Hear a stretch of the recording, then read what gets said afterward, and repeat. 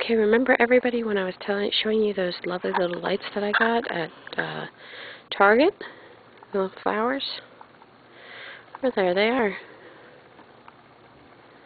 Okay, where'd the other ones go? There it is. Another one.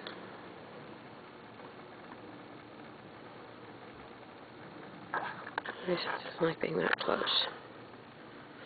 Anyways, let's just say from where I'm where I'm standing, they look very pretty. They look like little flowers that are all glowing.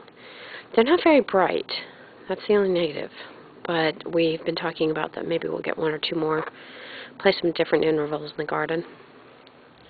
Offers a little bit more light around here. Because in here, it's dark as pitch. So, that's our new garden lights. Oh, they're so pretty and they keep changing colors.